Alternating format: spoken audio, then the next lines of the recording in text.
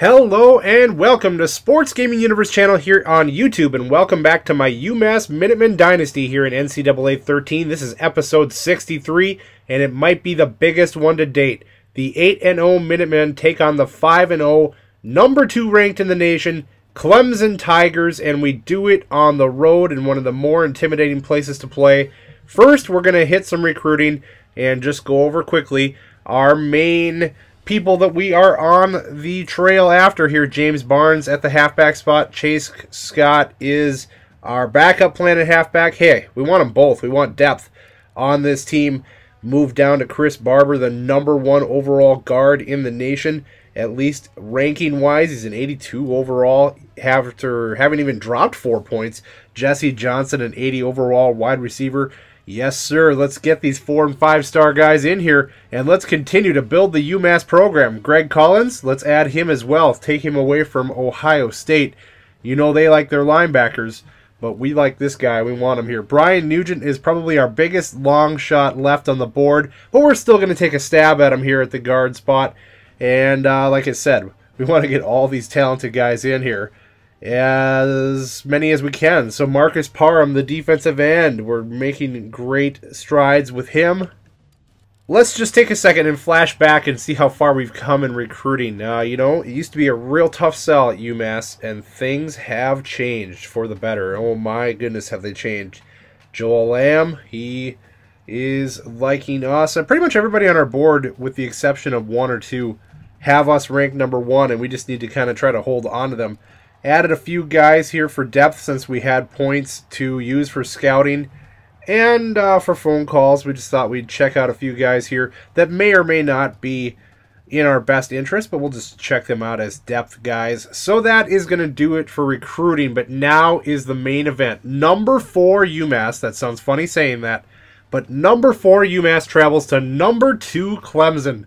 Oh boy, we've been waiting for this one. This is going to be a clash, and only one team is going to survive with their undefeated record. Thomas Young is hoping that it is the Minutemen. Now, these teams are also both in the Atlantic Division of the ACC, so this is big on every scale that you can imagine. This game will go a long way in deciding things, so we're about to get ready.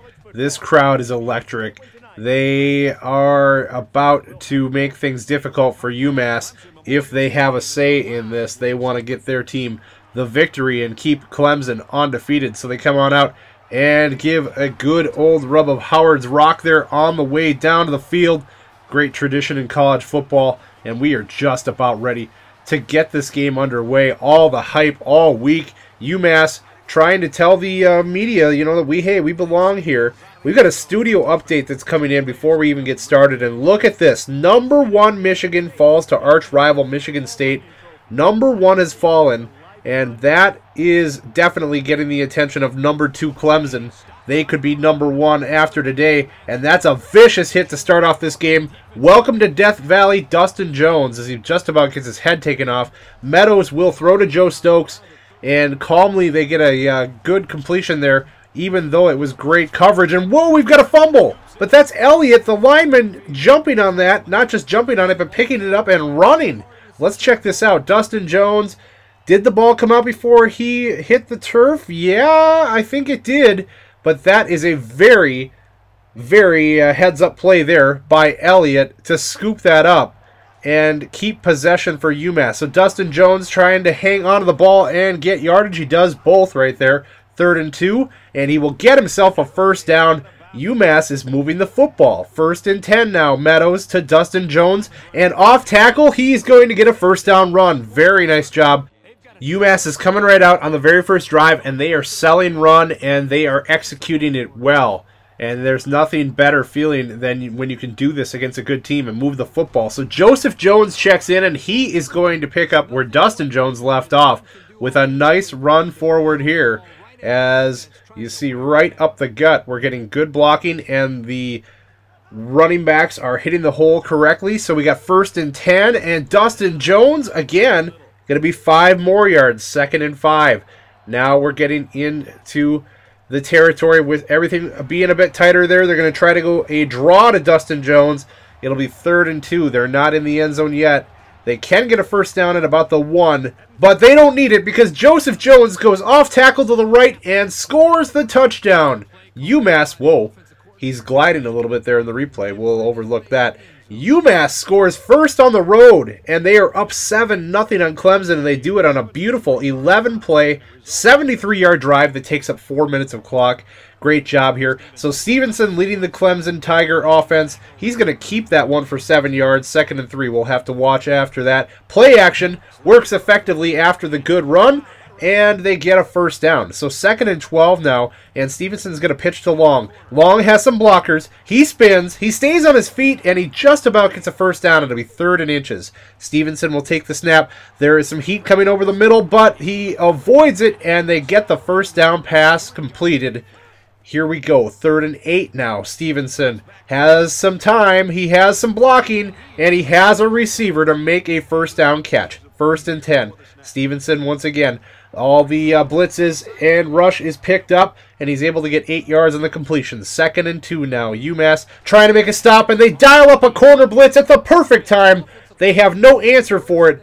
And look at this. Hit him square in the chest. And, uh, yeah, he, he rolled right into it. So the play call did not do Clemson any favors on that play. And UMass guesses correctly, sending the corner on the blitz. So third and 10. Can they make a stop here? The throw underneath, and he is short. They're going to have to bring the kick team on.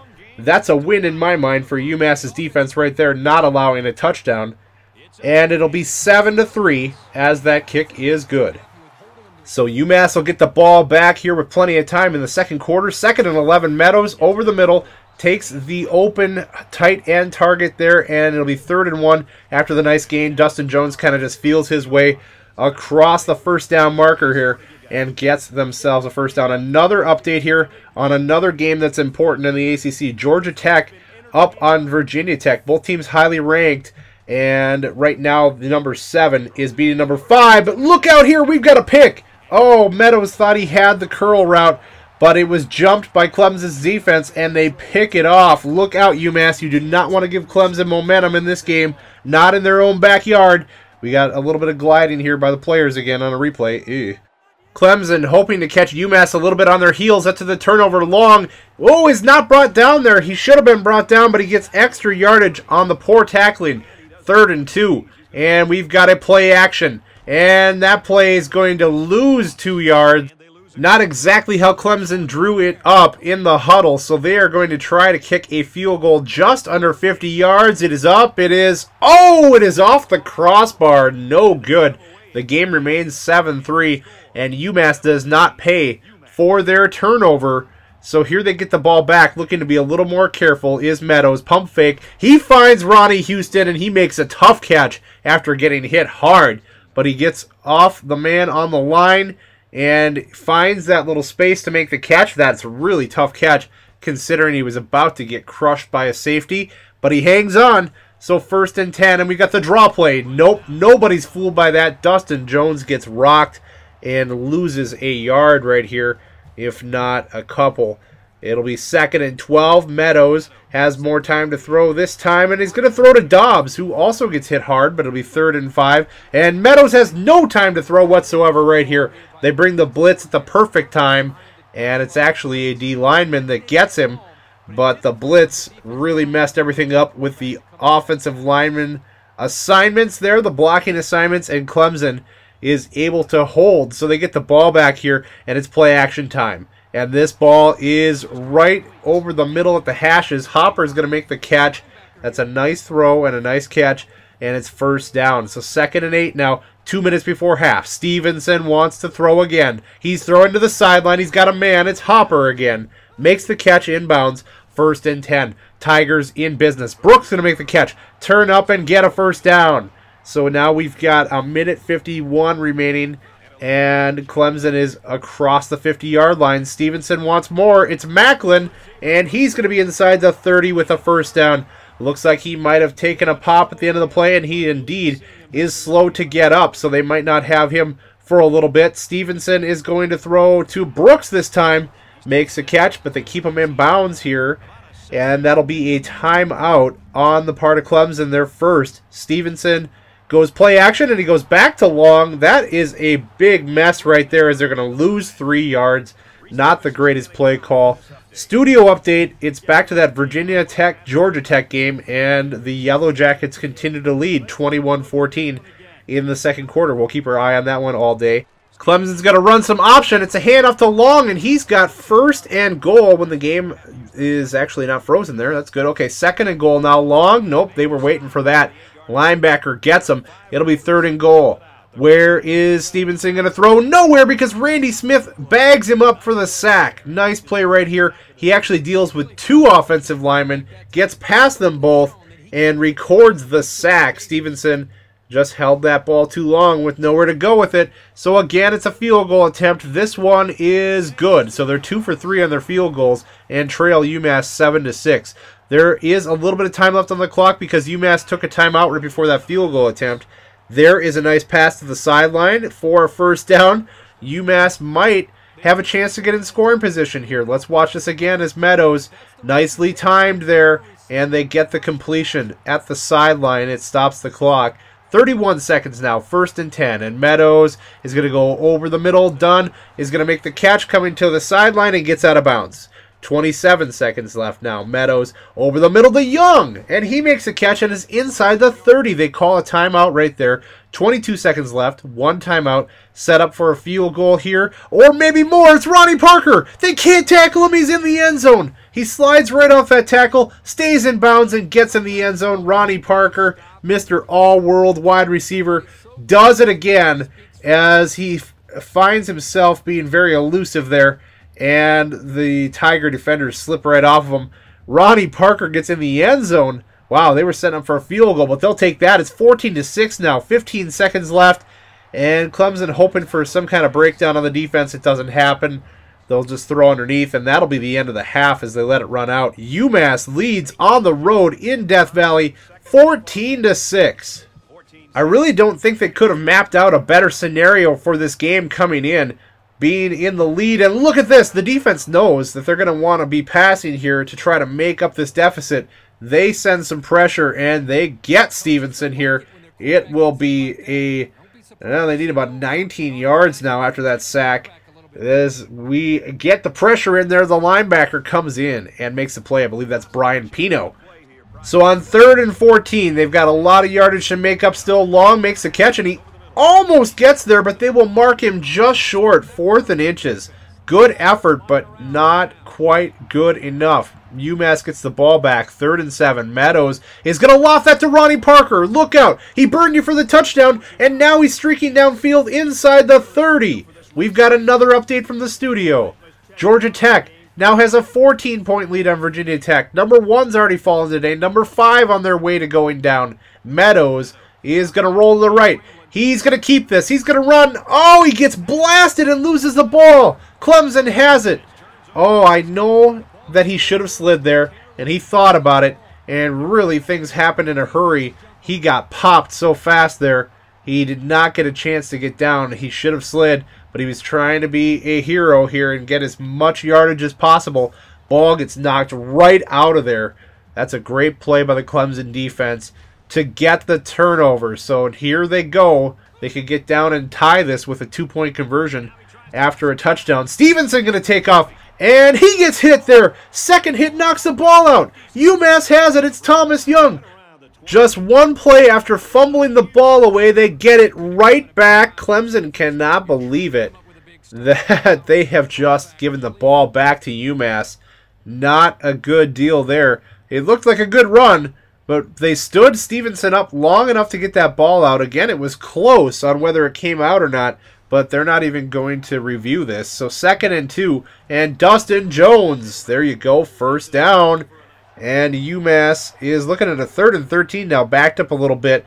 Meadows is going to find Dunn, try to make a play, but nope, he'll be well short. That's the smart play, though. Don't turn the ball over and at least get a opportunity for three points. And Patton adds those three on right there. It's 17-6. That's a big play because now it is a two-score ball game. Stevenson is going to find Brooks right here, and he is short. They go three and out. The UMass defense has stepped up big in this game, not allowing a touchdown as of yet. Dustin Jones, He's going to get about 9 yards right there. He's got 51 for the day against this very tough Clemson defense. Second and one, and he's going to hand off to the right-hand side, and that's some really nice blocking on the counter play. It's going to get Dustin Jones a first down. Look at the lineman come around, seal that off, and let him get first down yardage.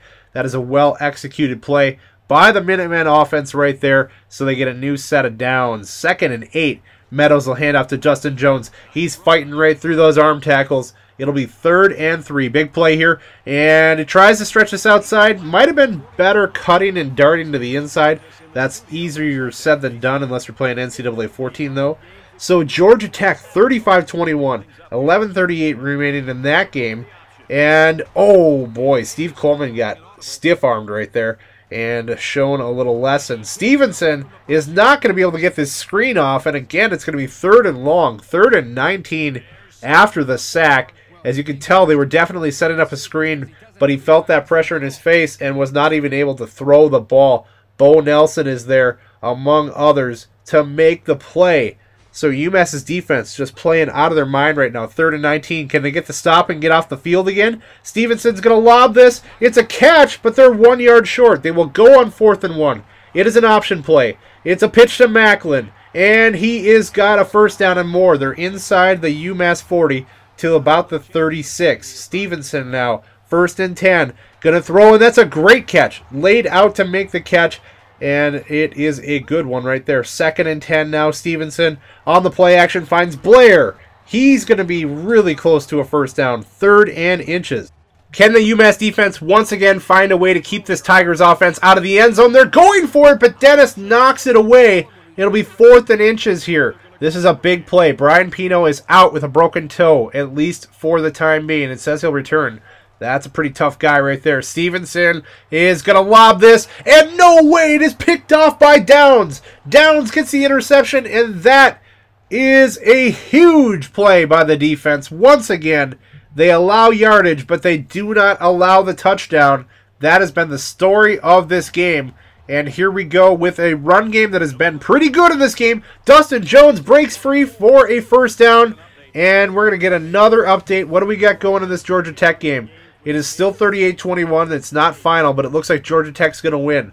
So we've got Joe Jones now is taken off to the left, and he will get a first down. They mark it a first down. Only one timeout left for Clemson now. Second and five. Joseph Jones is got another first down. Are you kidding me? Are we about to salt this game away? Victory formation in Death Valley? And, well, it is a road victory for number four UMass.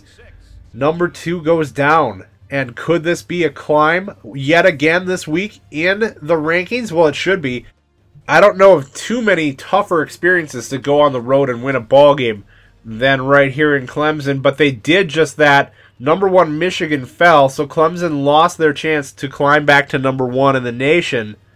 Wow, could UMass leapfrog all the way to number one? Uh, we're getting ahead of ourselves now, but wouldn't that be sweet? Wouldn't that be awesome? Uh, validation for this program. As you see, Ronnie Parker is your player of the game, deservedly so. Big touchdown right before half that gave them the separation they needed in this game. Meadows, 10 of 13, did have the pick, but also a touchdown managed the game pretty well, only sacked once. Dustin Jones, 83 yards. He's had a lot better yardage games, but I mean, consider the opposition here today. That was tough running. They did a really nice job blocking and getting first downs when they needed to. Ronnie Parker, two catches, 72 yards, and that touchdown to lead the way in the receiving stats. And surprise, surprise, Ben Birch, for one game, is actually not your leading tackler. Either is Thomas Young. It's Brian Pino today, and he did it with a broken toe. So 17 to 6, we take out Clemson on the road. They're no longer undefeated, but guess what? We are. It is time to advance the week and see what exactly has happened in the polls, what has happened in recruiting. Oh, hey, we got Marcus Parham, the defensive end, four-star caliber uh, recruit out of New York. He has signed on, and we did it! We did it! We are number one in the nation after that victory against Clemson. They fall only to number five which is uh, pretty good for them still. But Michigan is out of that top spot with the loss to Michigan State. Let's look at this top 25 poll. UMass. Take a picture of that, folks. Take a screenshot. UMass, number one in the nation, 9 and 0. Oregon is number two, followed by Georgia Tech, Auburn, Clemson, Michigan, LSU, Georgia, etc., etc. Wow. I really don't know what to say other than this completely validates what we've been trying to uh, accomplish here at UMass since day one. We got this team to the top, at least for one week. And you see, we are at the top of the BCS rankings as well, which is very important because that's really what's going to settle things. Conference standings, like I said, we are in the same division as Clemson in the ACC Atlantic, and we are now on top of that with the win. Georgia Tech leads the uh, Coastal Division, and wow, we are number one in the nation. Still wrapping my head around that. It's time to advance the week, and we actually had a bye week there, did recruiting. And we land another five star recruit on the heels of the Clemson victory. I'm telling you, these recruits can feel the momentum here at UMass. They know what we're doing and they can see it in the form of a number one ranking. They all want to sign up and be a part of this now. How could you not? This program is rolling. Tennessee's coming to town next, number 24. It won't be an easy game, you know that, taking on a ranked team, but we're looking forward to it. Try to keep this undefeated season rolling. We'll see you next time.